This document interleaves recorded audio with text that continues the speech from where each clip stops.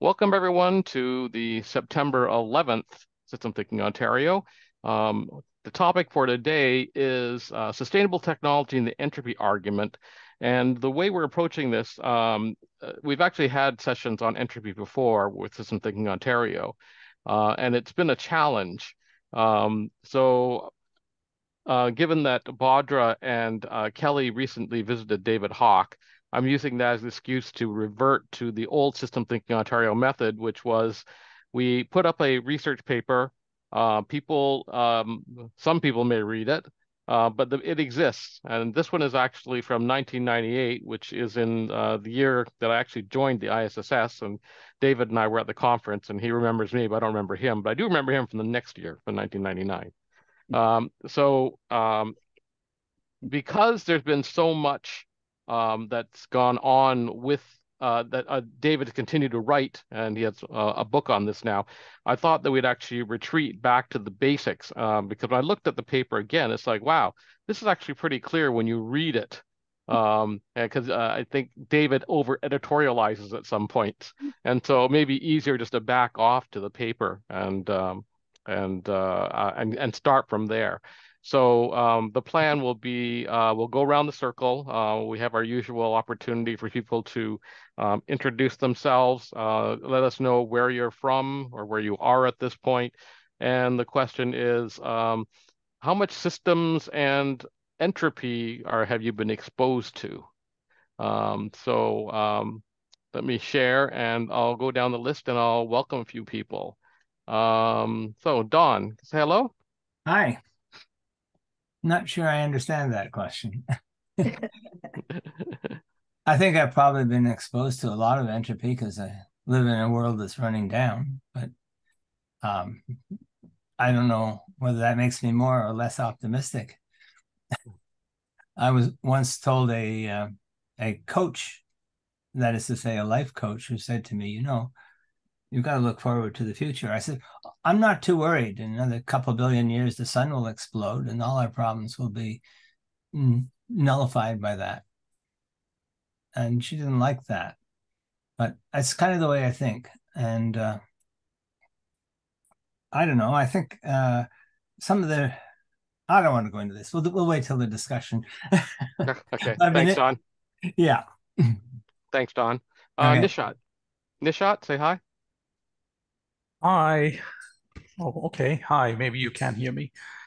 I don't really have much to say. Uh, I, I think I was exposed to entropy through traditional high school physics. Uh, this is really interesting because to, I just realized today is 9-11. That's right. So, and uh, on 9-11, 2001, I was in high school taking a physics one exam on that day when you know uh, all that stuff ha- happened in New York. Mm. And uh, I was taking physics one. I wasn't. Uh, we weren't really taught entropy in that class anyway, but I did. I did get exposed to entropy and laws of thermodynamics, reading textbooks like Richard Feynman's uh, textbooks and Resnick and Halliday's textbooks the following year. And those those kind of mainly came up you know, from the Carnot heat uh, engine and Boltzmann's famous laws of thermodynamics, you know, you know, you, you like closed systems with closed gases and gases diffusion, etc. So I came, I came to hear about mostly from high school and, you know, the famous textbooks, but I, I, I, I haven't really delved much, much into it. Thanks, Nishat. Rose, haven't seen you in a while. Hi.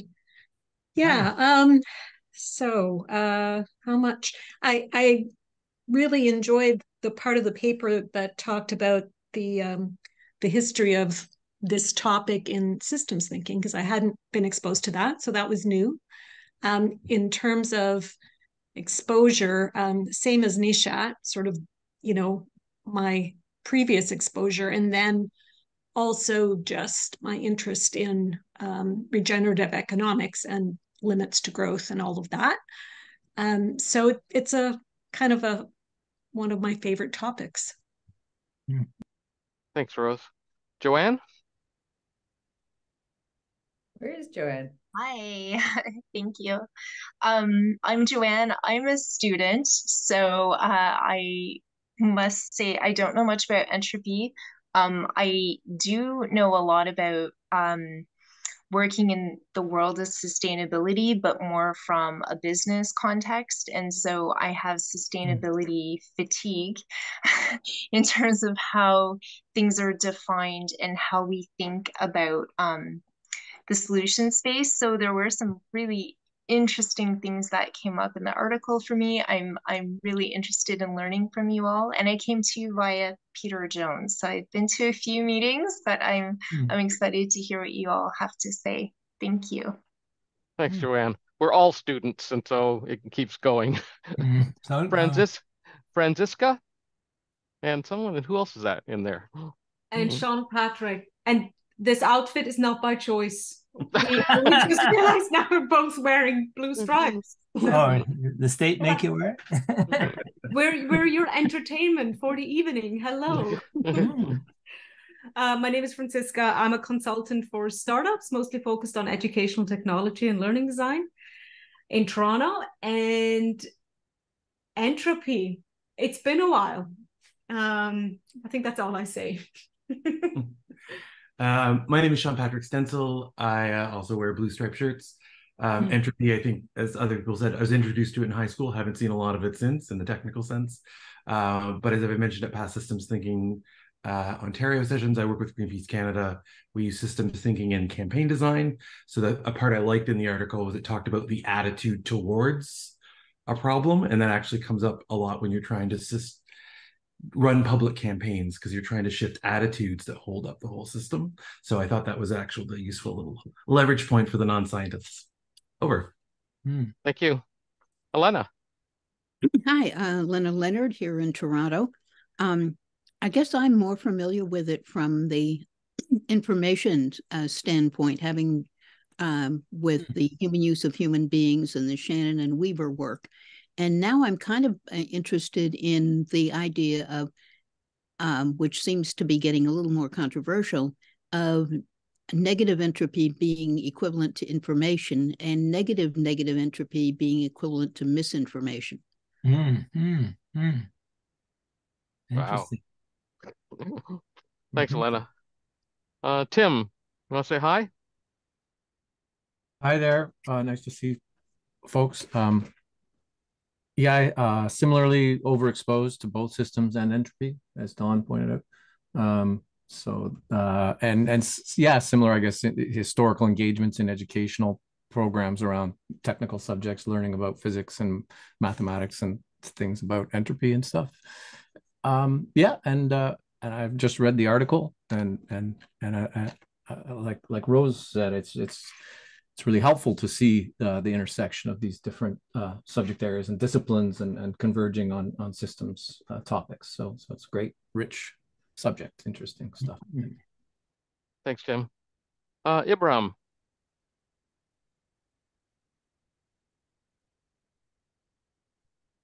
Uh, hello, uh, my name is Ibrahim uh, uh, I am uh, uh, I'm a PhD candidate. Um, in systems engineering, and I came here to learn from all of you. Thank you. Thanks. Uh, so in reverse order for the people that are going to speak, um, David Hawk, you can wave hi. Uh, you can, uh, we'll get the introduction uh, later when you come back in. And Kelly Okamura, you can wave hi. Um, and so uh, the the challenge I gave um, Badrah, um, there's too many Mohammeds, and so we, we call him Badrah uh, was to actually look at the paper and for people that haven't summarized haven't read the paper to try to summarize some of the main points or whatever struck him. Mm-hmm. um, so so Badr had the opportunity to talk about uh, what he's figured out about the paper what he hasn't figured out about the paper and then we'll have kelly add on to that um, and uh, after that, we'll kind of have open field. Um, David Hawk will have the opportunity to uh, answer some questions, and we'll kind of go around the circle. So Badrah, go ahead. Thank you so much, David. Hello, everyone. And uh, as David uh, introduced me, like my, my, name is Badrah, and uh, I had the pleasure of actually meeting uh, with David Hawk and having that trip with Kelly and David Ing, visiting David Hawk at his place two weeks ago. And I have to admit that this has been, um, as I always say, like a milestone, a transformational point on so many fronts, on like knowing the person as well, definitely, but also building deeper understanding of like many of the discussions and, and the topics that has been um, we've been discussing either like through System Thinking Ontario or even other groups as well. And uh, today uh, is uh, definitely one of, I would maybe call one of the assignments or maybe one of the uh, potentially uh, outcomes of that trip. We're actually trying to make sense, at least to me, that's my objective, make sense of, of, um, of the whole idea of entropy and neg entropy and how they do, how both relate to each other and then how the, uh, the, the the, the two constructs actually translates into the I would say attitude, as David said, but I would say even behavior and and our posture towards um, sustainability and technology and how we're actually improving or improving the human life and the human uh, experience and the human impact on the planet. Uh, so, yeah, without more rambling, uh, let me set the context maybe first uh, before jumping in. As David said, that I'm I'm a uh, we're all students, but I'm definitely the maybe the the the the what I would say not necessarily the youngest, but because not it's not age, I mean the youngest in the journey, students here. Uh, so let's just set the context that I've been trying to make sense of so many things about this paper. Uh, by all means, entropy itself, like what what actually is entropy mean, and and also to give a bit of uh, history and context, not not I mean uh, about where I came from and how I came to the system thinking group, um, it was through like my job in, in software and technology and trying to make sense of like leadership challenges. And that led me to a few uh, starting points when it comes to um, human relationships and how it relates to the business. Long story short, uh, that got me into uh, introduction like to system thinking as a as a as a way of thinking and also as a as a way of approaching problems, which is very uh, which is one of the main points that actually David Hawk has been discussing in this paper and made a lot of sense to me. And then um, a, dear friend introduced me to uh, David Ing, who amazingly introduced me to almost half of the people on this call. so this is where I'm coming from. In terms of entropy itself, as Nishat specifically, and also most of you as well, my intro or my uh, my background about the term comes from like just study and, and school and not necessarily, uh, like sadly, but I believe expectedly, not necessarily getting deeper or, or deeply understanding what exactly does that mean, and uh, which is one of the main objectives for me uh, with that exercise that I'm doing today. So, yeah, uh, the second point in the context I would like to set is that uh, in a previous meeting with David Hawk, I was telling him that I hope that I'm not doing this service I'm not doing this service by actually trying to explain that. So this is not by all means an explanation or a or a way to communicate what David Hawk is trying to say. Never. But I would say this is my attempt, like to uh, make sense of of uh, of few keywords, as I said, like entropy, like entropy, a uh, few things that are actually other keywords that came out of the paper itself, uh, which is coming from the very beginning of the whole paper, which is human beings and being human. And that actually, I have to admit that this launched me on a on a a, a small rabbit hole journey. Stayed for about maybe two three days. uh, also, uh, deeper understanding or maybe proper understanding when David Hawk says optimistic, what exactly he means by that. And I have to admit, David, like this is my first time to understand what you meant by being optimistic. Uh, so yeah, what I'm trying to say here is, here is that uh, I will try to convey what I got out of the paper, as David Ing uh, said, and also some of my uh, connections that I was able to make, not through my thought, but at least through uh, uh, between the the points or the discussion that we had either in systems thinking interview previous sessions or um, uh, like some of the writings and some of the other publications of, of David Hawk. And as I said, by all means, these are my interpretation or my understanding. And then I hope that David Hawk. Kelly, of course, would challenge that and add to on top of that, but also David Hawk would correct the understanding or at least pinpoint where we might have missed something, or maybe hopefully like hit the nail on the head. so yeah, jumping right away, I would, as I said, like from the very beginning of the whole paper, like the very beginning, the very starting words, which is like human beings and David's challenge or problem or observation or questioning how they act or how they be humans. But I would not uh, dig into that a lot. I will leave that to the end because I believe it makes sense. And so the very next thing, which is actually an entropy, I have to admit that, okay, entropy, I know like from physics and from study, but again, like what exactly does that mean? And I have to admit that I don't necessarily yet have like a, a deeper uh, intuition about it, but maybe from at least definition, one definition stood out to me as I'm reviewing uh, was it's the amount of, um, it's the quantity of the energy that is not transferable into work.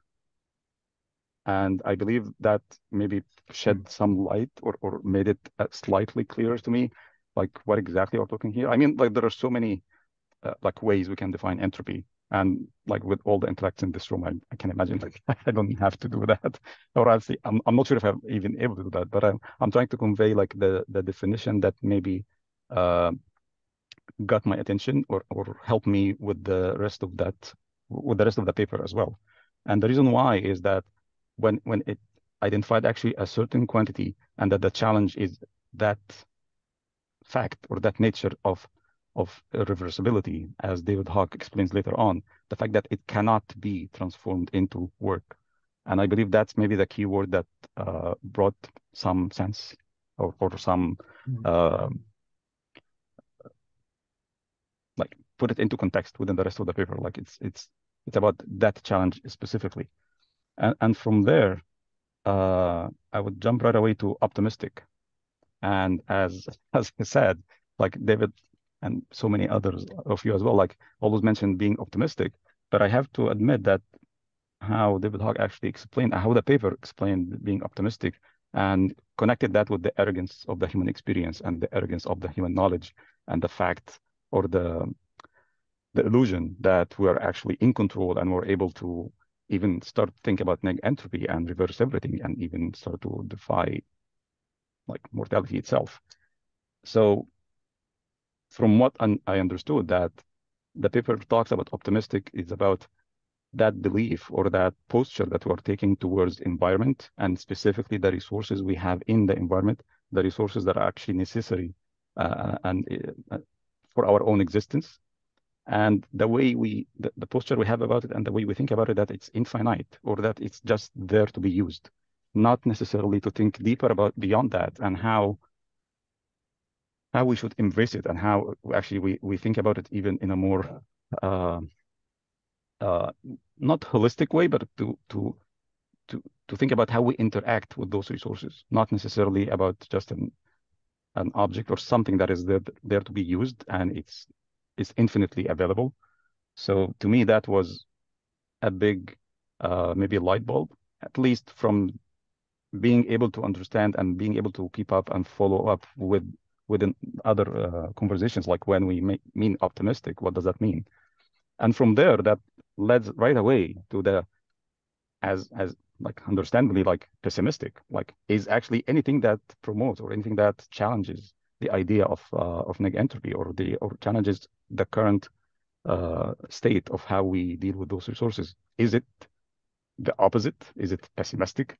And again not necessarily because actually it is not about being optimistic like being optimistic or being pessimistic. It's about how like similar to the comments that has been made earlier like it's about the attitude we're having towards the problem. It's the attitude we're having towards resources and our environment, as opposed to uh, like you know, like like black and white or, zero one or whatever the, the the opposites that we're thinking about.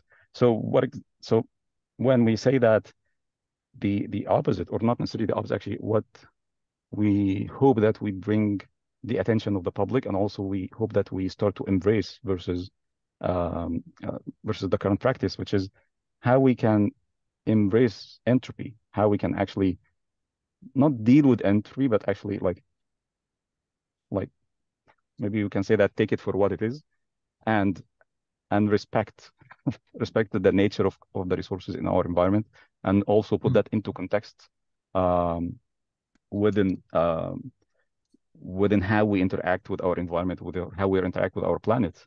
And later on, I will get you uh, the point where I, I started to make sense of how this actually relates to like practical everyday, like each one of us in our own fields or work, or even our own everyday uh, interaction with our own environment as well. So, but the point back to the point is actually optimistic versus pessimistic, which is actually again optimistic as in the the the way we think and the way we we approach the idea of resources and environment and the context we're living in, and pessimistic, which is not the being pessimistic, but actually the the the counter argument to that or the counter practice that we hope we is awareness about where how we actually embrace the resources on our nature, how we think about the environment and the context. And and then from there we can come up with um, actually not necessarily coming up with solutions, but actually before coming up with solutions, from there we identify the a more crucial or the more um, uh, effective problems that needs to be solved or questions to be asked and then come up with solution for those problems or those questions as opposed to uh, like as the paper later on explained like jumping on or at least or at least focusing on um, sustainability as the translation of neg entropy. And then it's all about resources are being there and how then we can reverse the use of resources or at least how we preserve this closed system um, and, and bring them back where it, it has been uh, like the, the the motivation or at least the direction where the either the the scientific community or the system the general system thinking um, generation has been following versus actually trying to think about it completely different as how we embrace that and how how we can approach actually life in a different way not necessarily to go after the the usage of the resources. Um, from there like maybe the last part, which I, I have to admit this is the part that I'm still struggling with, which is actually neg entropy. I mean, from what the paper is explaining and from what I understand from the discussions we had before, yes, neg entropy obviously is the opposite of entropy or trying to reverse entropy. And and maybe one thing that was uh, like clear to me a little bit, which is how like when we label or actually when we describe some of our practices we're having today or some of the fields or the studies or even the direction of the scientific process and the scientific approach today how we label that as adopting the idea or the concept of neg entropy i believe maybe that has been clear to me. Like it's the idea of focusing on the like the solving the problem of the irreversibility of resources and actually thinking and being optimistic that it could be reversed. And then from there, we can focus on all of our effort trying to find neg entropy solutions or neg entropy type of a solution to the problems we're having today, when in reality, well, at least that's the hypothesis, when reality actually we're like we might be running after like a mirage.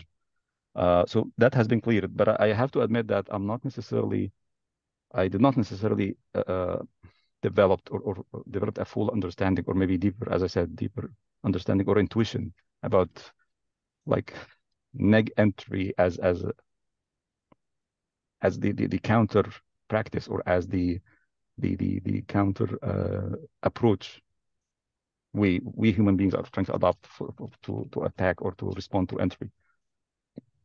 Uh, finally, I would go back to the the very beginning statement that I said. This, it makes more sense actually to to keep it to the end because when I read that first statement, like human beings and the observation of how we are being human, and then it hit me actually maybe the first time in my life to realize that actually when like the the word or the term beings, like actually it's similar to what David Hawk was saying about the resources that they are just there to be used. Like beings is just to be there. Like I believe this might lie at the core or maybe at the heart of the problem of the attitude that we are beings, but just to be.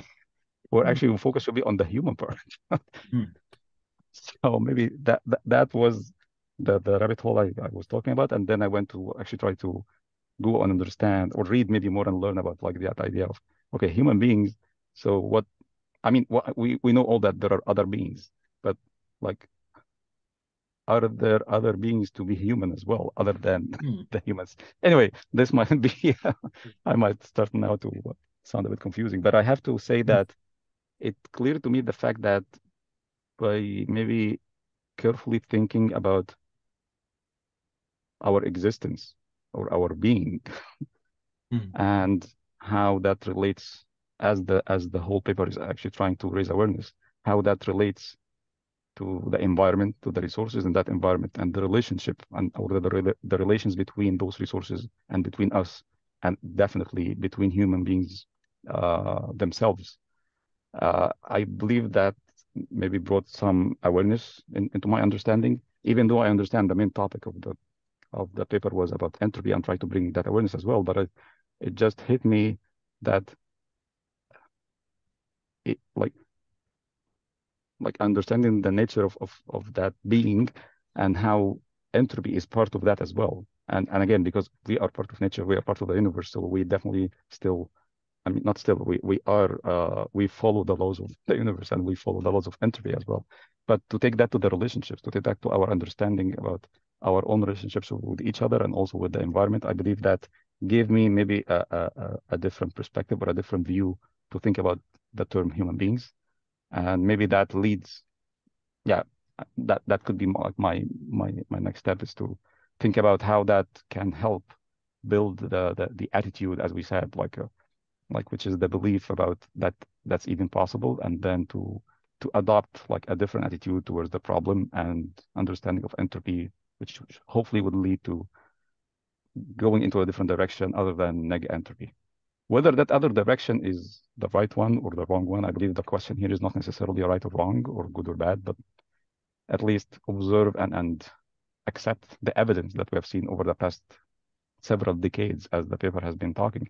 And also let's not, I mean, I'm reminding myself and everyone as well, like let's not forget that this paper has been written in the 70s, uh, sorry, in the in the late 90s, but also was talking about uh, like it was built on some of the foundational work that has been done in the 70s. So that has been obvious since then. And over the past 30 or 40 years, a lot has been has become even more obvious. Uh, so yeah, without further details, these were like some of the highlights I had about the whole paper. Uh, I uh, yeah, I, am not sure if that what everyone was expecting from me to to uh, to uh, to present, but I still uh, I promise you the the like the slide deck, not necess- not necessarily to have a slide deck, but because I was working on something like just to visualize what I'm trying to say. So you still, uh, I promise you to send you that later on.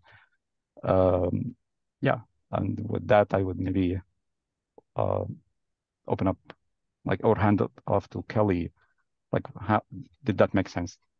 Make any sense to you, Kelly? What question you may have? Or uh, yeah. If we, if we go on the long car ride again, then yeah, it'll eventually make sense. Um, I'm gonna I'm gonna start with um, just one of one of the points that that was made in terms of definition of entropy, and it was that uh, uh, all things decay. And so I, I think that um, as far as entropy and neg entropy, which uh, a lot of my work, um, my former work, was on um, neg entropy, that uh, quarterly profits would continue to increase, which was sort of an artificial versus a natural form. And uh, around the time that David wrote this paper was around the time that I started talking to my clients about um, stop making crap. So we were going into a different um, paradigm shift, and I wasn't quite sure. I didn't know at the time that stop making crap still is valid it was a wrong way to approach the uh, problem with uh, executives in the company, especially when I was looking to have them change their business model that they had learned in school and all, and all the rest. So I certainly, um, I know one of the things that um, you were speaking about was op- optimism and, and pessimistic. And mm-hmm. I know that David Hawk said to me in Iowa that uh, he he gave use a definition of an optimist from the Devil's Dictionary. He says, no, that's not what I mean. Um, so I'm going to use the word hopeful. And in the de- definition of hopeful, I think that it is um, there's no guarantee, but it's worth the effort to try. And I think that um, part of my mission is to plant seeds. And whether you want to call that um, optimistic or hopeful, uh, I'm still uh, okay to be on on that road. Um, the neg entropy is generally an artificial versus the natural. I think somewhere in the paper it said something about that there isn't a, a solution.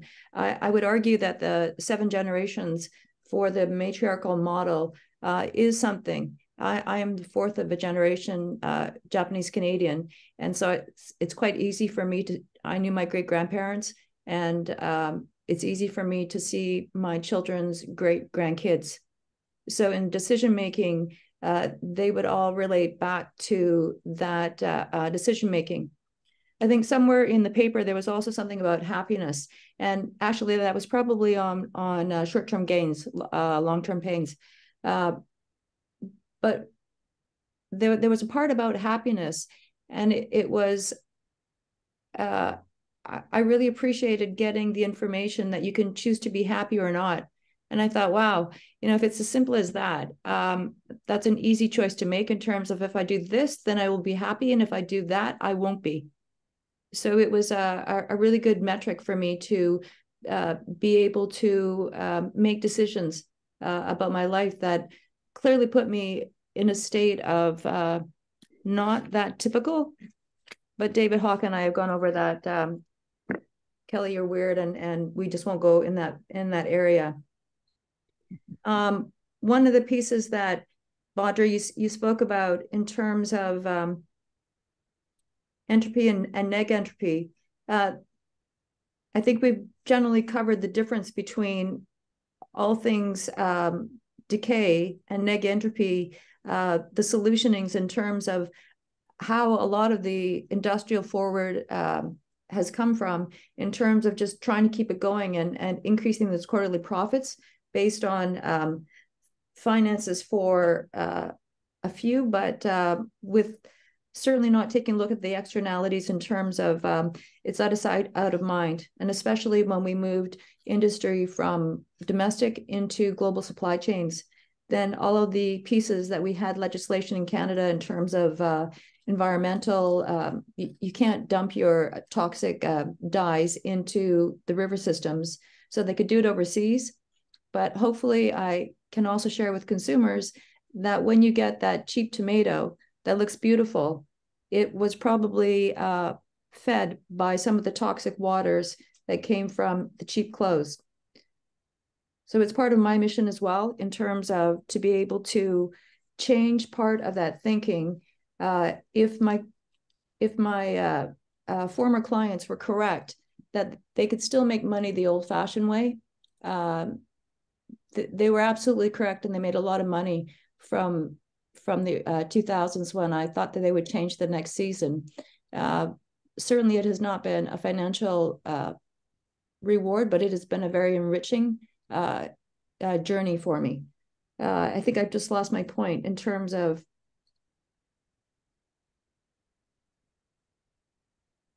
the neg entropy and that and that it, it, it's not sustainable I think that when we were looking, uh, David, you had said something about recyclable, and uh, on the we end up in recycle, and so at some point, just like with cottons, when we we're looking at how we can make um, fashion or textiles uh, circular, and especially with cottons, it became a problem because it had a lifespan. It eventually wore out, as opposed to nylons. Uh, so when I was speaking to schools, they would talk about um, I, I, would say to them that polyester might be uh, a better circular choice because we can actually take it back down. But I do find a problem in terms of some of the work that we were talking about, uh, the three parts. Uh, where are they? I'm looking for the three parts, David, in terms of uh, and I hope to get to black holes. But I'm looking for that piece on uh, the, the, the the the the the energy information and yes, yeah, and and how it is that we can we have created um, a false or an unnatural world where we believe that we're the top of the chain but I I wish I could uh, bring up the name of the person that says, we're in the middle and we're in the middle of a system. Uh, and we are not as as important as we like to think that we are. It comes in part of the teaching that came from uh, a headspace of negative ent entropy that we could continually increase uh, quarterly profits as well as uh, live forever, and that somebody would save us, as opposed to um, an easy easy example for me is taking all of the body uh, systems uh, that are wholes onto themselves and then everything outside the body and all the systems that are there. So one of the choices that we have is what we uh, choose to eat and how that affects our uh, body systems is something that is uh, doable. And it is part of um, uh, somewhere it talked about um, instead of policing, it was much more about informing. And so that you got rid of the the uh, the uh, what's the word? The ignorance, the, the blissful ignorance. I certainly was so overwhelmed as, as as a as a black hole system that I had so much information in my head that I it was really hard um, at times in August because I, I only had so much space. David, when you you spoke about um, ex, uh, explaining entropy at black holes. Uh, I find that really interesting. And the article that I had referred to earlier in terms of uh, the black holes being uh, contained, there's an exterior and an interior, but it's not necessarily a circular shape. It's more like a squishy area that has uh, a containment. But what is contained within is uh, particles. I like threads better because we we speak in systems changes learning about threads. And so these various threads that both Badrah and I, we probably have in terms of we're not actually able to weave uh, uh, a concrete message yet, but they are are there and they are waiting to be uh, um, articulated in a, in a more formalized way. I believe Kelly, you were trying to refer to the work of uh, of Garrett Hardin. Is that the one that you wrote? the one about the uh, the common and how freedom in a common brings ruin to all. If not, then yes. So I'm trying just to help you remember. But over over time, that that it is not sustainable. I mean, I, I agree with David Hawk. I've I've had the pleasure to uh, to have one-on-one sessions with David, and so certainly I agree with him that the um, nature of the entropy law uh, holds and looking at open and closed systems and what that looks like as well. Uh, whether it's a closed system, then entropy um, was valid, but in open systems, no. Uh, that as change in terms of a direction for uh, systems thinkers to go down into is uh, really interesting. I feel badly for um, the lack of, of, of examples I've, I've certainly tried myself in terms of being able to provide um, to business that yes, this is a, a, a, viable business model for you. That that was um, stupid on my part to go down that track, but even something as small as uh, starting local with my remarkets and now scaling them across Canada, I'm I'm really proud, and it it's not going to make me a dime, but I hope that in that again, we go somewhat into recycling, but it's that there's enough, uh, the consumers have enough stuff that we don't need to buy more stuff. We actually have things that don't need to go to landfill as quickly as they are. I'm going to stop there and just see if either David Hawk or otherwise uh, somebody has some points because I've got some other ones, but I I I, do want to give uh, this is an opportunity for a dialogue for uh, the group.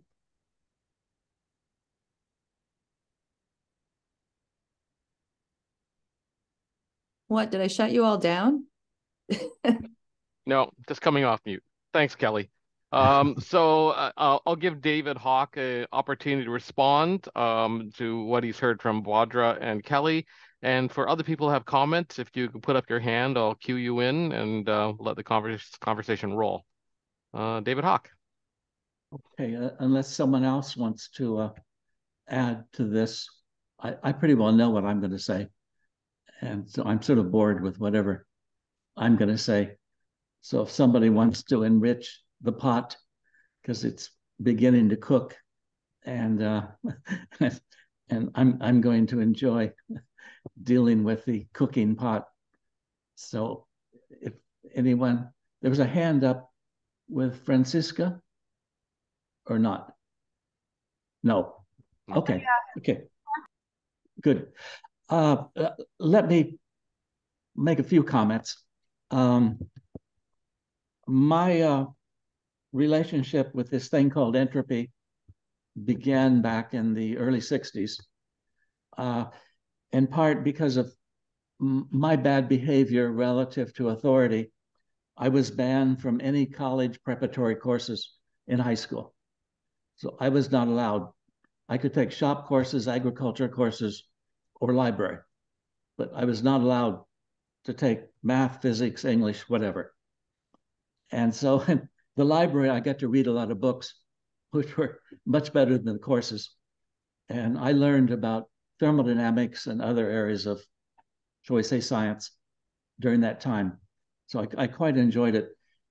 Then when I went to Iowa State University, uh, as electrical engineering.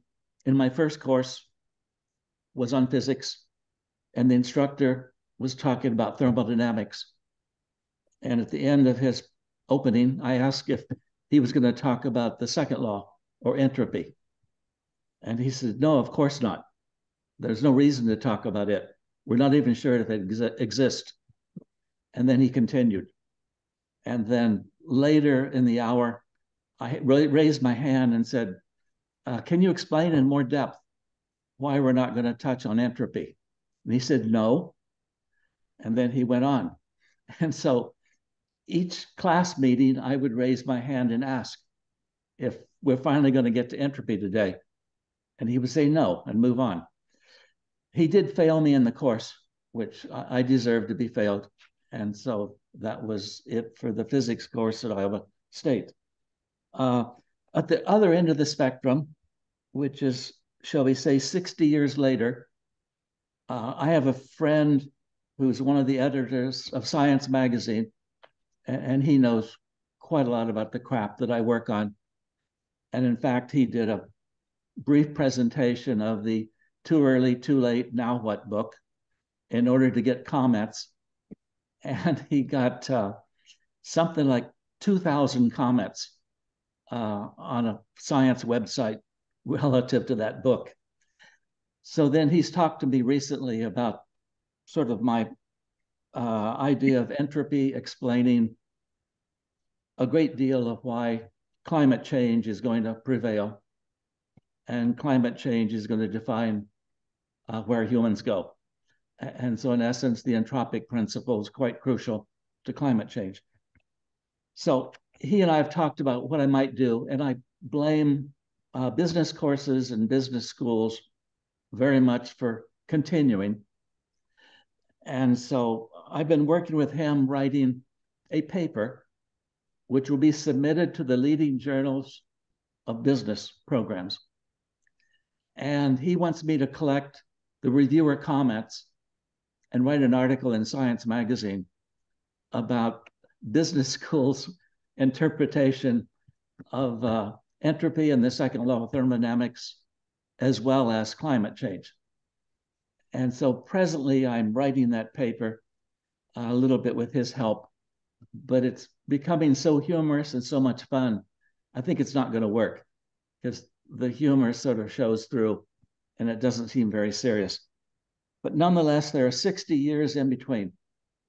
And I'm still sort of on that same routine uh, to be a little more helpful relative to Mohammed and Kelly. Uh, in essence, entropy means there is no such thing as recycling and no such thing as sustainability. And in order to demonstrate that back in the 70s, I worked with the uh, pulp and paper industry as part of my large project from 75 to 77 done in Sweden. And with one of the major pulp and paper companies, which they agreed with me, uh, they did a demonstration of what happens when you recycle paper. And in a plant, they set up the demonstration to throw, show that you can only recycle it three times. And it really turns to shit after the third time. That in essence, it has no value for anything except to put in a ditch someplace. That in essence, it cannot be reused, cannot be recycled. All of that is imaginary stuff that humans make up to feel better, to feel better about what they're doing. And so we documented that in that research project. And essentially, nobody liked it, nobody paid attention to it. That was considered an ugly piece. And uh, even the government representatives were unhappy about that piece. Nonetheless, uh, I do believe entropy discounts the idea of recycling and sustainability.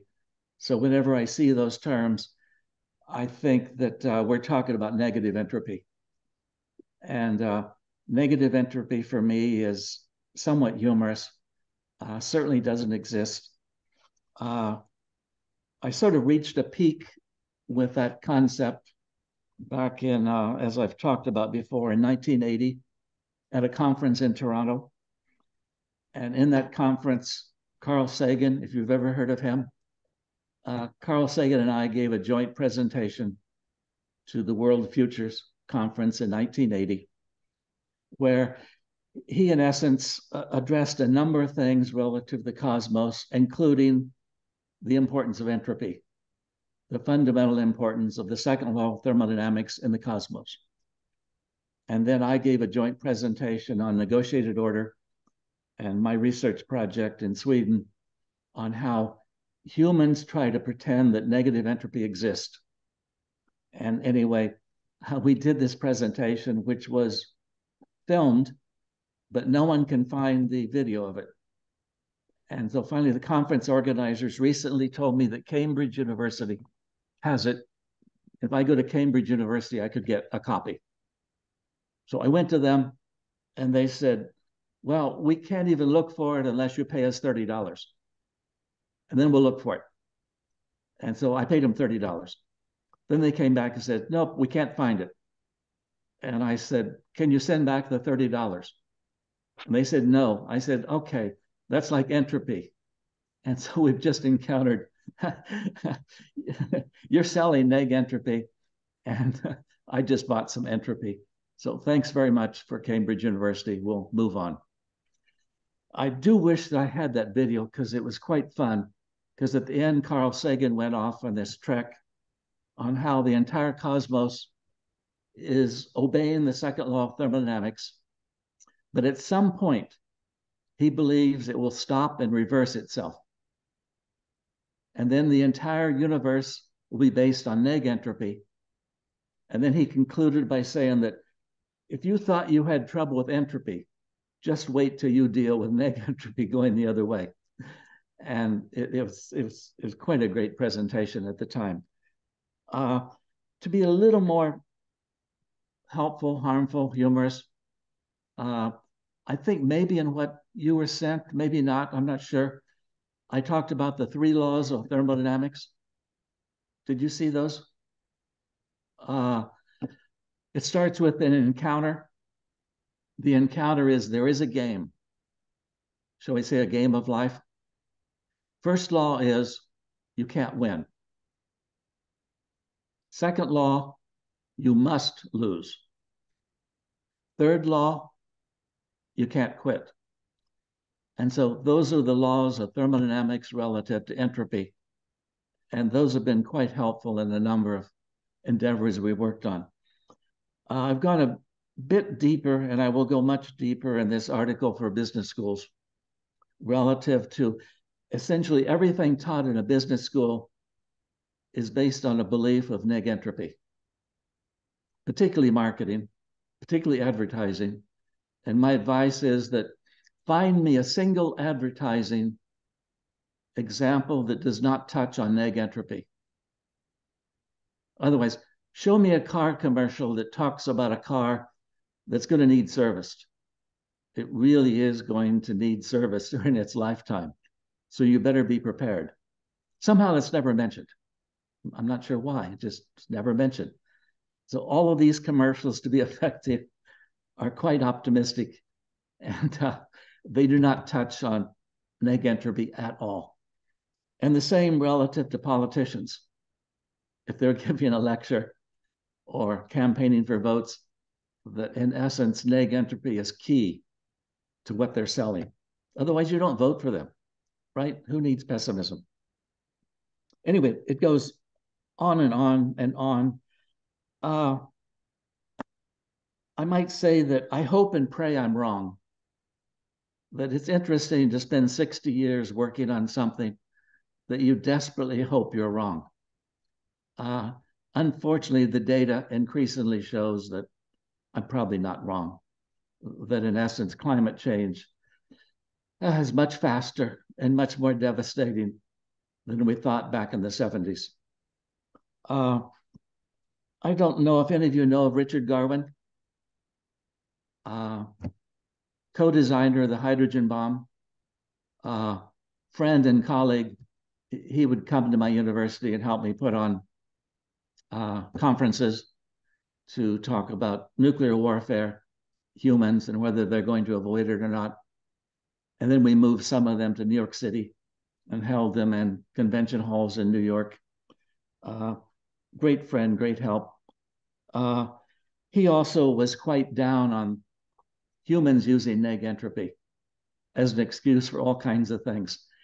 And his one argument was that just watch the news every now and then when you see a major proposal being sent to the government asking for one or two billion dollars to continue the research they're doing. He says you can count on that being a neg entropy search. That one to two billion is always to find an example of neg entropy someplace, which many of the participants know they're not going to find. But it's a fantastic way of getting, getting government money to do research.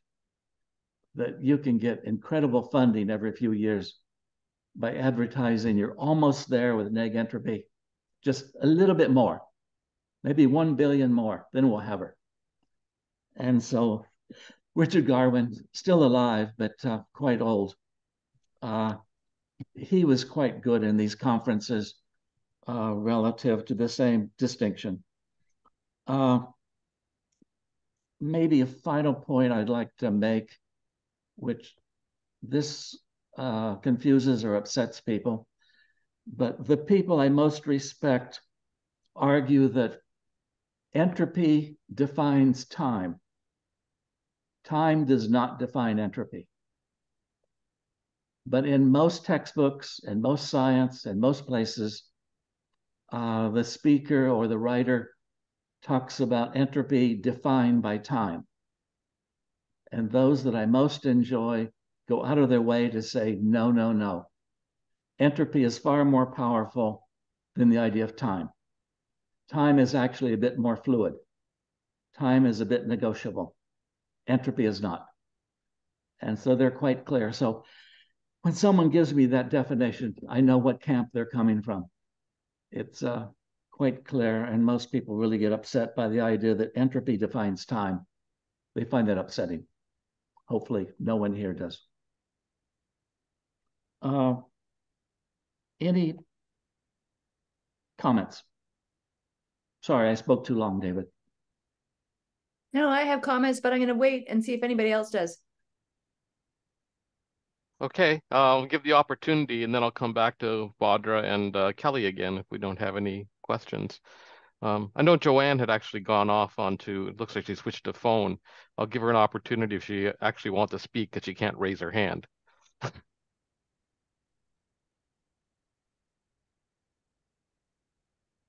no for Joanne. Does anyone else have a comment they'd like to make? Yeah, go ahead. Uh, yeah, Sean Patrick here. I don't disagree with the premise around entropy, but I guess I would say I'm a cynical but optimistic environmentalist. um, so part of it is framing. Um, so I agree with you at one scale, but I think it's not actually an issue of optimism versus pessimism. It's a question about self versus other and the relationship there at kind of the top thinking of the system. So the fact that we have a concept called trash in our language is indicative of a belief that you're talking about. You can just throw things out and there, it doesn't matter.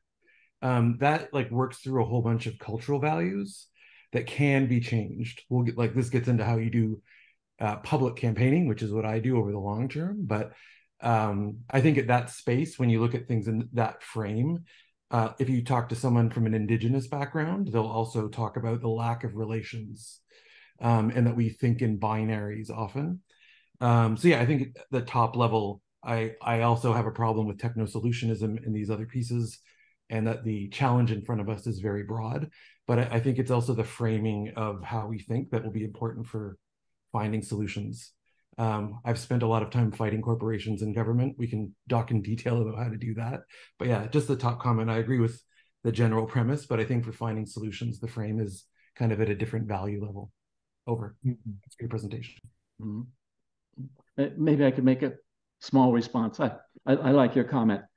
Uh, for me, uh, humans in essence are entropic machines. Mm. That in essence, entropy goes on whether humans are around or not. That's the law of the universe. What humans do is aid it and allow it to go faster.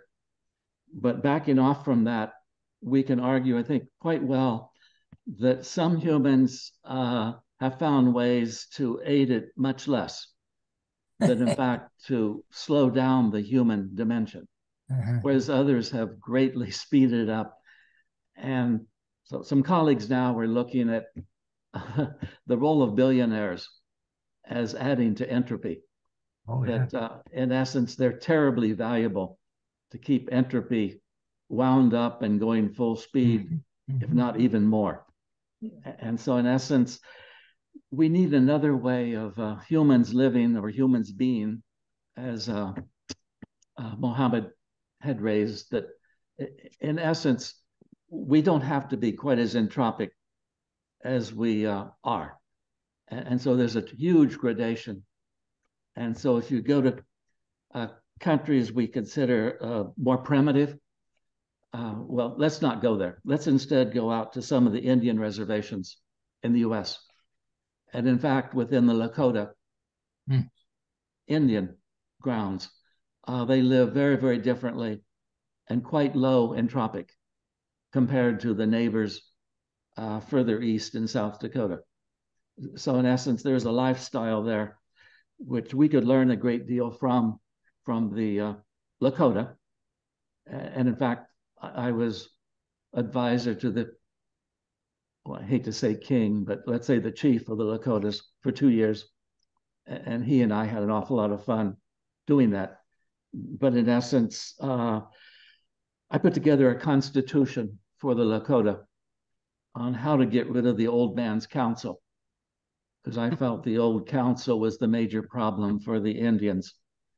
And if indeed they put together a new council of 12 to 15 year olds, uh, they would do much better meeting the future.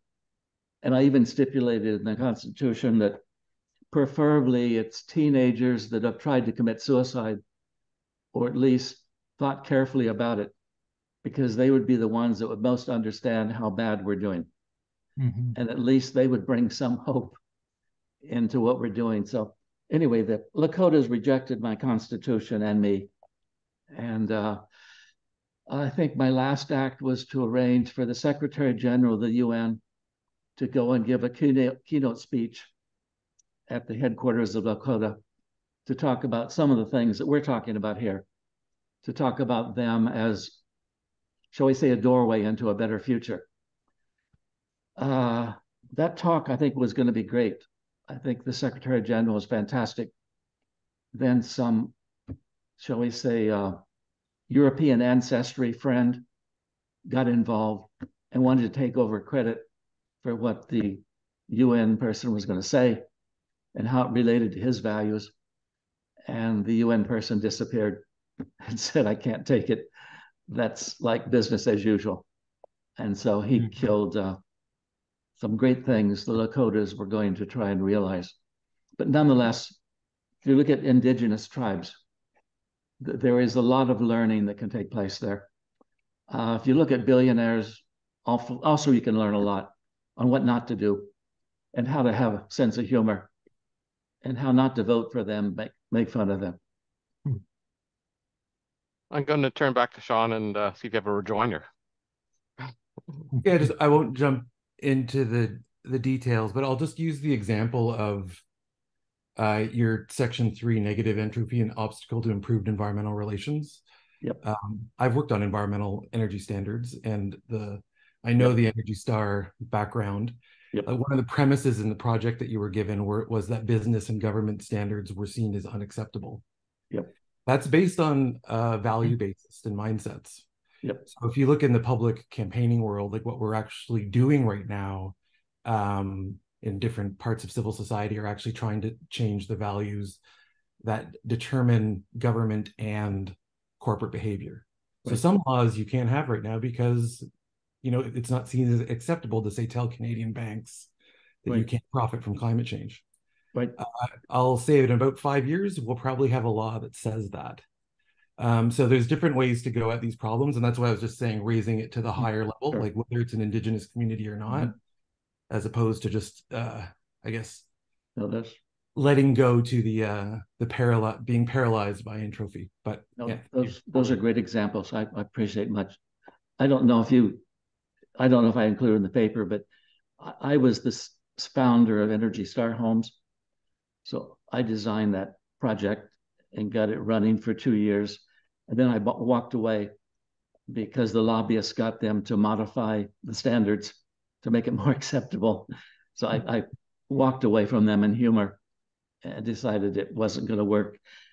Uh, we had a much better project that that all of us would have enjoyed, uh, which was done 10 years earlier by taking a section of Newark, New Jersey, like four to eight blocks, and suspend all regulation all buildings, all zoning, all anything. In that section of Newark, no regulations would be allowed, period. And the governor was my ally. And so he and I mapped out an area that we were going to demonstrate alternatives because often the regulation is counterproductive, if not just wrong. And we got 40 companies signed up to each build something in that domain to show what they could do if regulation wasn't there, to show how they could demonstrate a better way. And it was uh, fantastic proposals. Uh, I had to leave for a year or two and go back to Sweden on a project. So we sort of suspended it till I got back. When I got back, the project had been moved to Atlantic City by Donald Trump's people. That Donald Trump's people saw it as a fantastic project to build his uh, casino and save a lot of money. And so my project got destroyed by this asshole called Donald Trump. And so I met with him once on it and explained why the governor and I were going to leave him, that he could have his casino. Good luck. But in essence, it, it's quite possible to do some really exciting stuff with the right people. Mm-hmm. And so you're exactly right by having that touch of optimism. Mm-hmm. There's and those 40 companies, the things they proposed were phenomenal. I mean, I you know, sort of mind blowing what they wanted to do to demonstrate how they could do things better. So, so you're quite right to have that optimism. It's just hard to lay the basis for it or the foundation. Mm. There's Donald Trump's all over. Hmm. Okay, I'm going to turn to Don, who had his hand up. Nishad is after Don, but uh, Don. Yeah, let's make sure I've got my. Where am I? Oh, just oh, there I am. Okay, yeah, and I'm not muted. Okay, yeah, a couple of observations, um, or maybe superficial, but I don't know. I think we've got some deeper implications as well. Anyway, you can be the judge. Um, I see that uh, the people who put up the uh.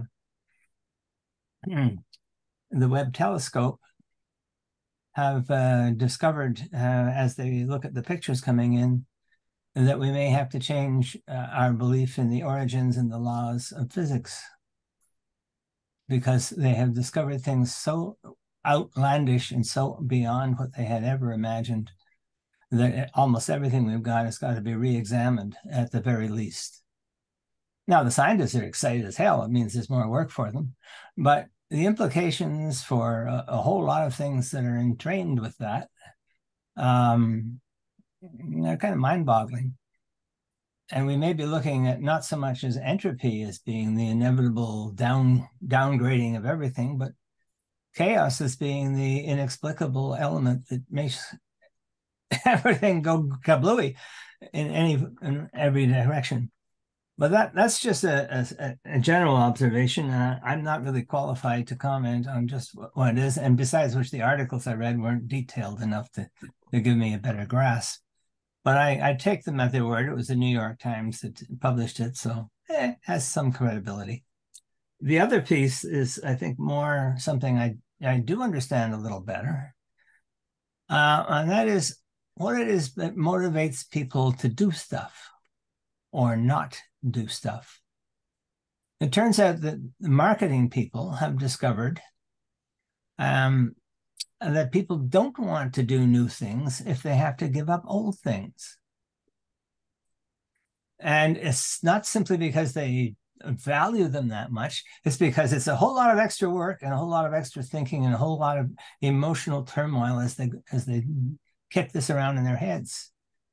Now you can see this in a, a, in application almost everywhere, right? In politics, in business, in personal possessions, people become hoarders. Uh, everybody hoards to some extent, I believe. How many garages actually contain cars? I don't know. Um, that's a big deal. That's a really big deal, and it's something that I don't think the people who who are optimistic, the negentropists, if you like, uh, have really um, cottoned on to.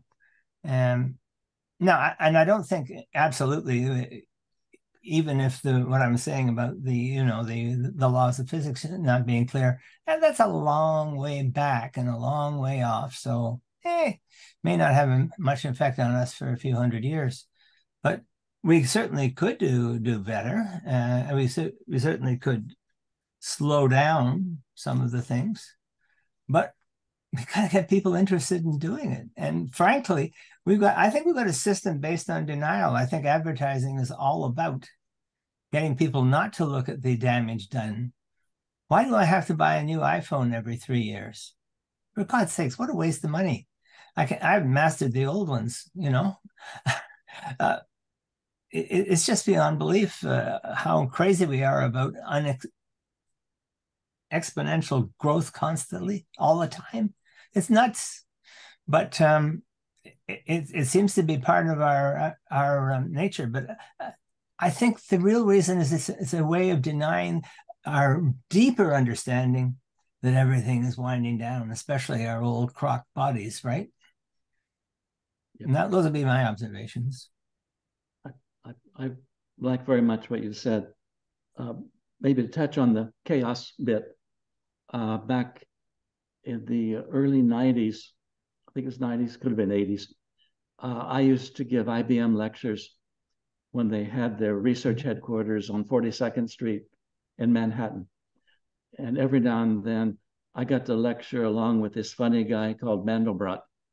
Hmm. And so Mandelbrot and I would put right. on presentations where he would present chaos theory and his fundamental development of chaos theory and then I would try to fit in entropy and other aspects of it. And I I enjoyed very much his his uh, manner of presentation. Uh-huh. And I think the chaos people are still taking off of Mandelbrot.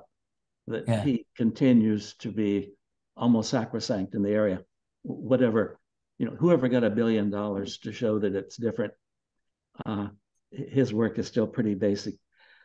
And, and then you touched on the idea of change or changelessness and I also make a big deal of changelessness, and that I think the vast majority of people are very much into changelessness.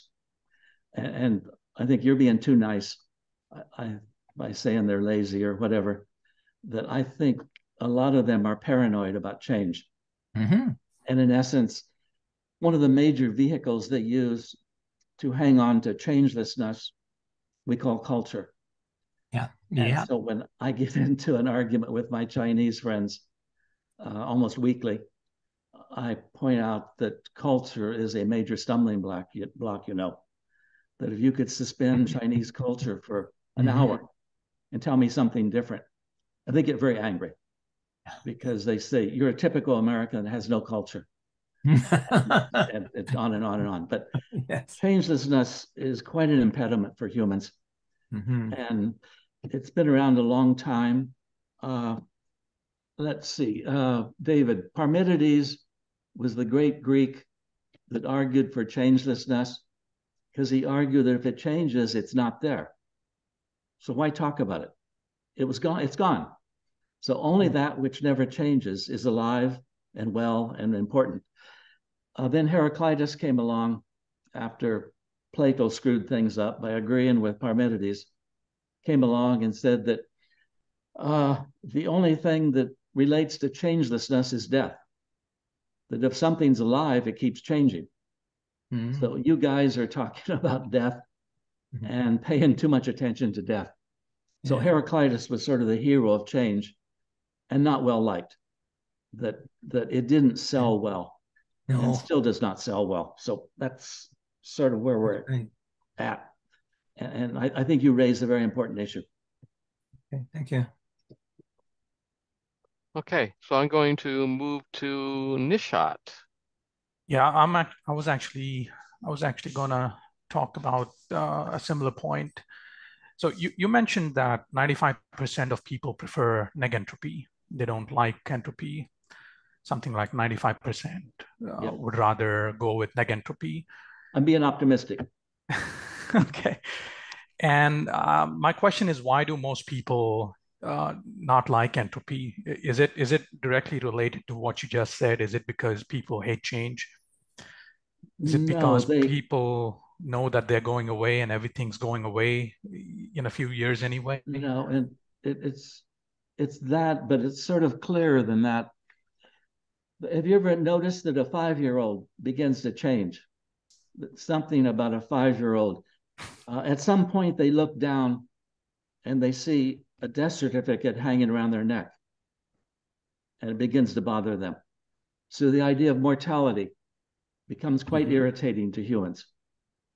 And so they spend the rest of their life trying to find ways to be immortal, shall we say. And probably the last fallback position is have children. Yeah. So in essence, that's your immortality trip. Have lots of children and send them off to the future, even though you're gone.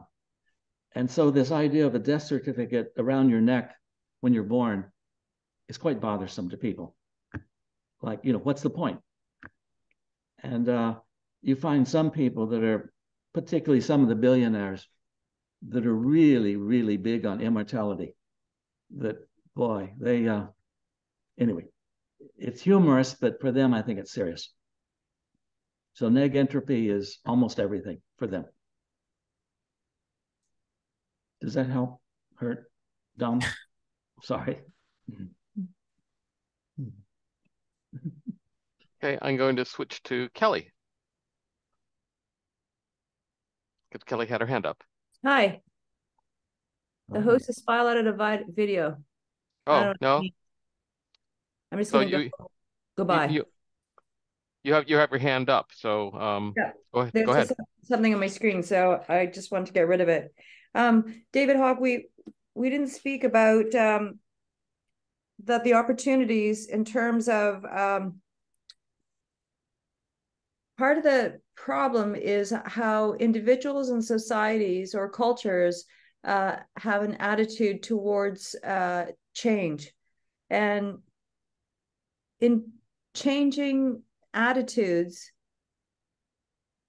is one thing and that's where the youth are at is that they have a change in attitude but their behaviors uh, don't uh, relate to their, their actions don't relate to what they're doing.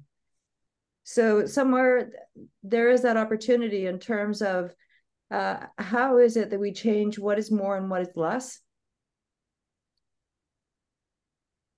Yeah no i, I think you opened a very nice doorway by mentioning youth, because there is a lot of hope with youth. And much of my time is spent trying to be helpful about youth. So this silly TV program, I guess I'm going to start. Uh, the sponsors claim it's mostly for youth. They said reasonable adults will not bother with uh, what I'm talking about. And so they assume that youth will tune in for what we're talking about on that TV program. And I and I tend to favor youth. I uh, yeah, I I tend to be a particularly troublesome to old white guys like me. That uh, that uh, yeah, one of them mistakenly stopped by my house yesterday. That he's lived next to me for 40 years and never been here, and he stopped. He stopped because Annalena was out watering the roses. And for those that don't know Annalena, she's a rather tall, quite beautiful blonde lady. And so he came skidding into my driveway to ask what happened to me. and of course, he wanted to talk to her. So then I, of course, went out. And I shouldn't have. That was a mistake. And then uh, he left before long. But in essence, uh, old white guys, particularly farmers, are, are quite angry about, I think the expression is the shit that I talk about. And that they, uh, but as their yields drop precipitously, they begin to think something's wrong, but they figure out it's me, that somehow God is really angry at me and punishing them. And so if they could get rid of me, their crops would catch up. There'd be lots of corn and beans again. It's tough out there.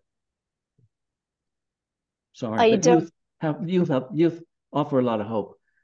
And also a lot of humor if you could get them to stop talking about suicide. And a lot of them are. And most are saying they don't want to have children. It, it's becoming quite different. David, as Yep. you predicted earlier, I have a hand up, but I can't put my hand up. Okay, let me uh, bring Joanne up then. Just hold on. Uh, you don't mind. there you go. Oh, Joanne. Yay.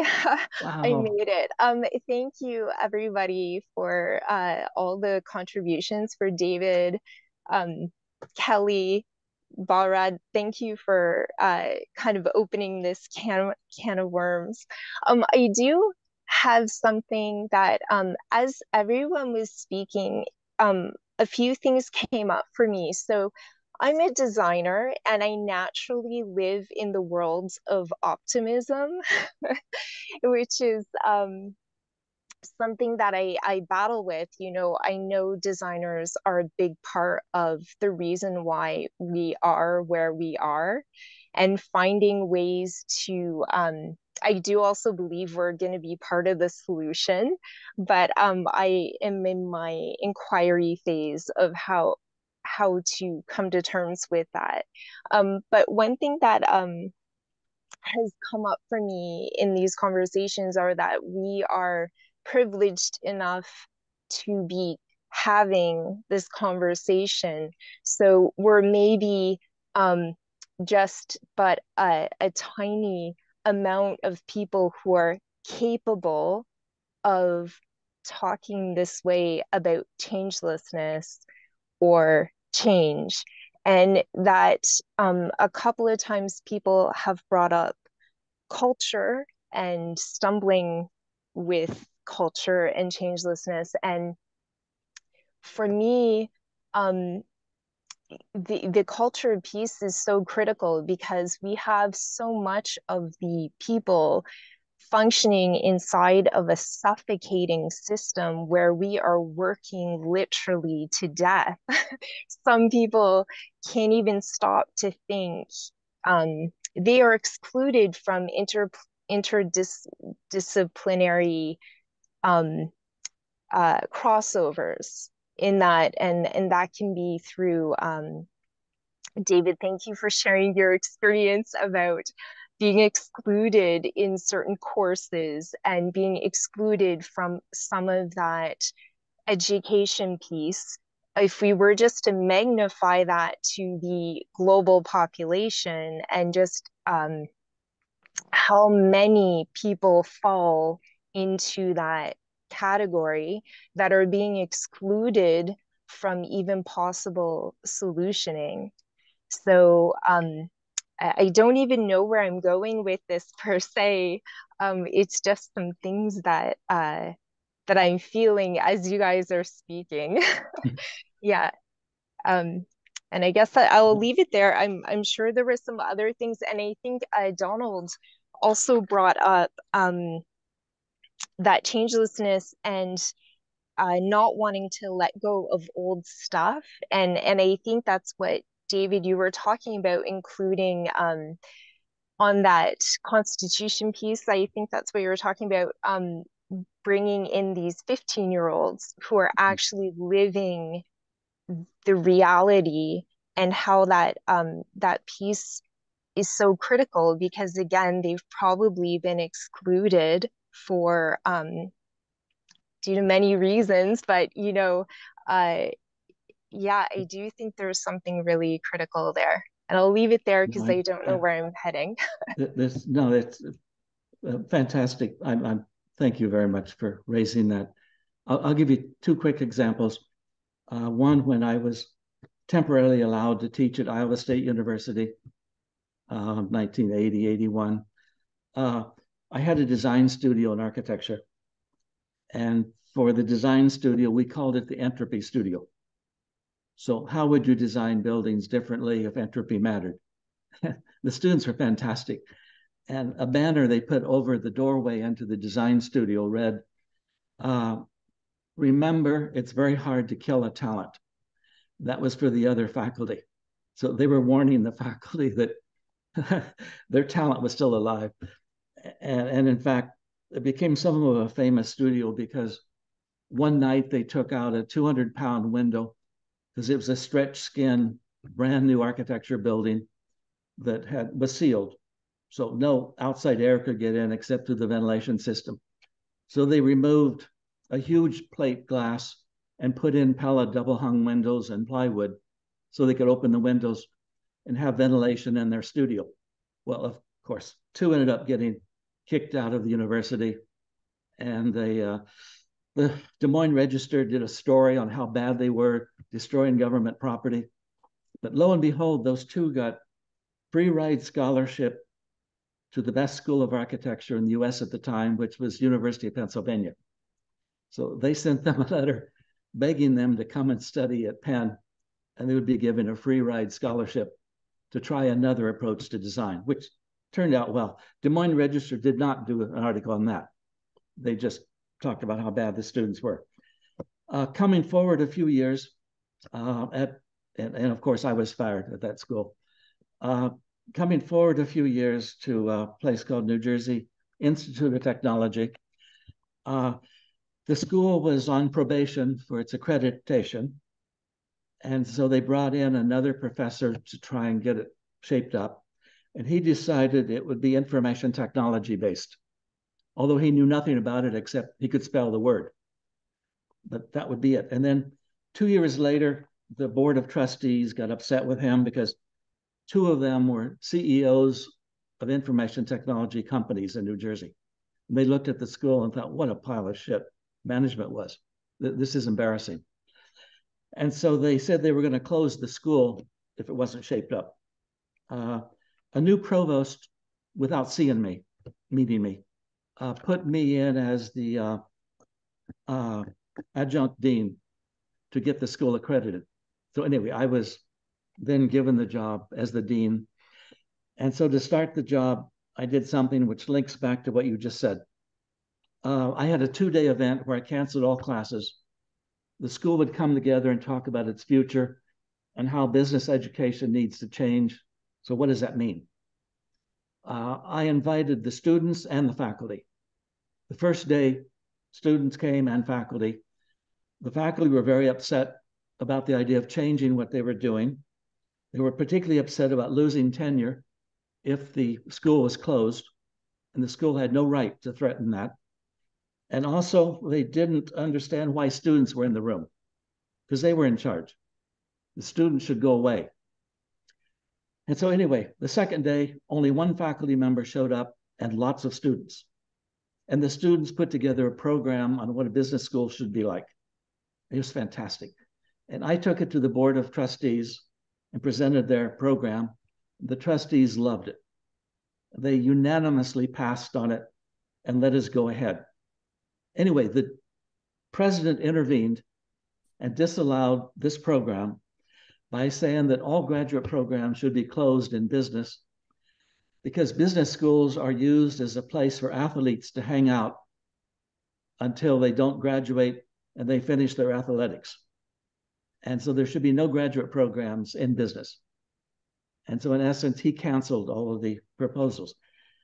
Anyway, we went ahead with many of the proposals, and the school not only got reaccredited, but we won the award from the accrediting body as the most improved school of management in North America because of what the students had done, which the faculty were opposed to and the president hated. So, just to reinforce what you said, there is great hope, but how do you get access to that? And how do you allow the hope to do the right things?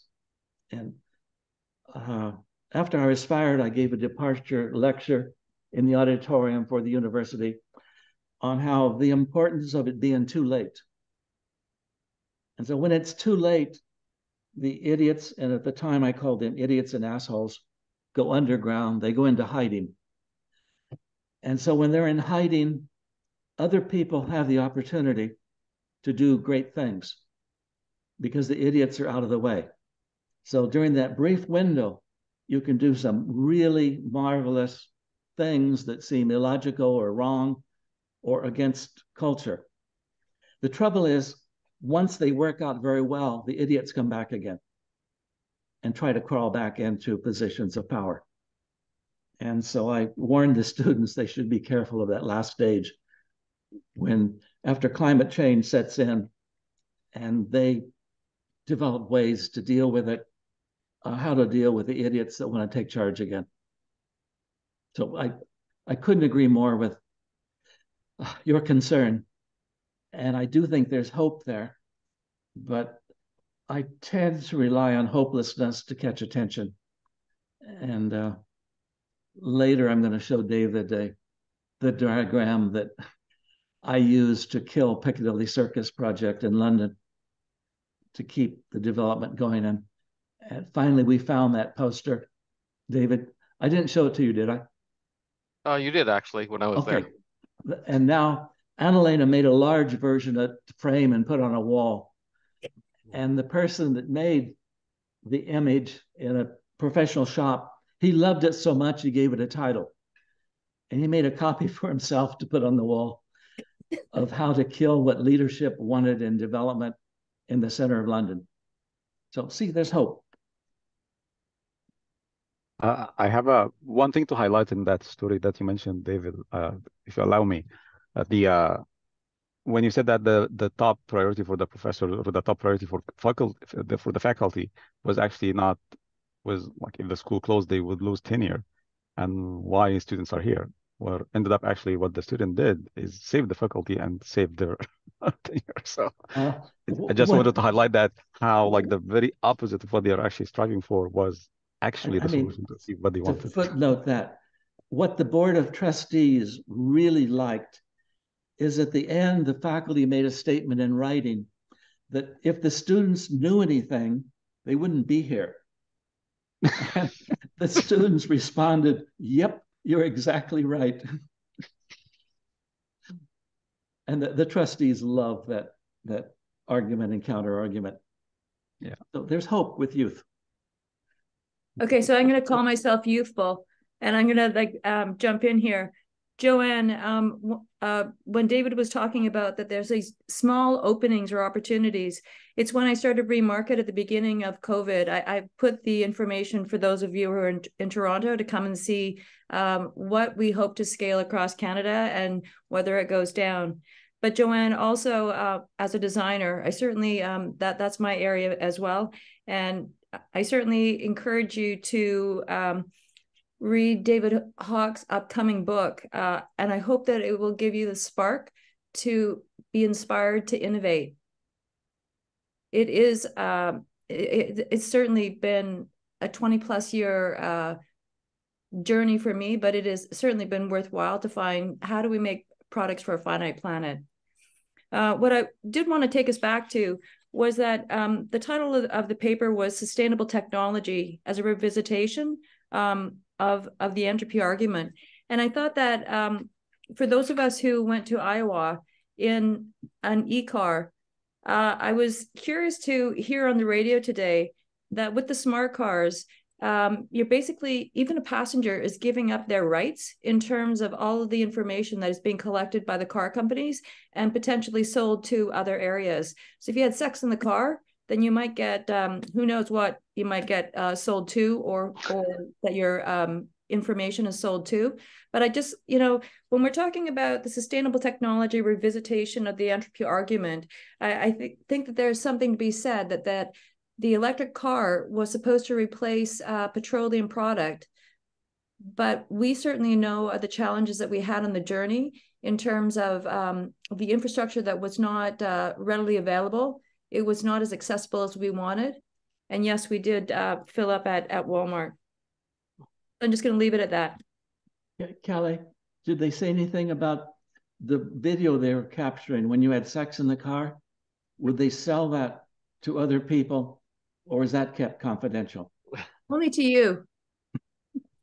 okay, I, I I have to find that piece and read it. I Kelly, just to reply to you, something that I've come across in my journey, and and it's been a tough one to fully comprehend, but a car is still a car, and I think that's the problem. A dress is still a dress like a, a thing is still a thing. And that goes back to i think what donald was saying how do we how do we appreciate less? I that's not how you said it donald. I i can't remember precisely but um something to that effect. And i think um that's part of the problem uh, shifting that mindset and understanding if I if I could make the comment, I mean, I certainly told uh, our leading retailers that they should be reselling their designer um, uh, couture garments in um, in their stores. Uh, they thought I was absolutely off the mark. Uh, it's certainly been a long time since I've shopped at Holt Renfrew, and I've been shopping my closet for a long period of time. I actually thought that we were meeting in person, and I was going to wear this uh, dress that I bought fifteen dollars. I probably paid one hundred and fifty dollars in terms of the uh, wool that had moth holes in it. And I had an Indian um, uh, cohort of mine do the embroidery on it. But to pay her a fair wage, it cost me $150 in terms of this dress. It is a, a very special dress to me, and it has nothing to do with the value. But there is so much that we can do with the existing product that that's already um, available on us. Now to, to maybe give you a, a code phrase, uh, remember I mentioned Richard Garwin, co-designer of the hydrogen bomb? Yep. And he was the one that uh, mentions the warning every now and then, if humans are involved, be careful. And he says, please remember that the agenda for designing the hydrogen bomb was to eliminate warfare. And then he stops and walks away. So uh, be careful of humans uh, and their agendas. That so if you're going to make an electric car in order to make the planet a better place, uh, be careful of humans. It's uh, well, as long as they're not involved, you're okay. So I'm going to uh, wind us down for today. I'd like to thank everyone for joining us. Uh, there will be an announcement for the October System Thinking Ontario coming up. Uh, we are actually, uh, for those of you who made the request of uh, attending uh, to see Judith Rosen, uh, who came in person to Toronto, she's actually agreed to give a presentation um, in uh, from Rochester, New York. And so um, Zad will be running that session, and we'll see everyone next month. Thanks. Bye. Nice to see everybody. Thank you. Try to be optimistic now not by the devil's dictionary as far as your definition. I'm going to stay hopeful. No, bur- burn that dictionary. That's what you have to do to be optimistic.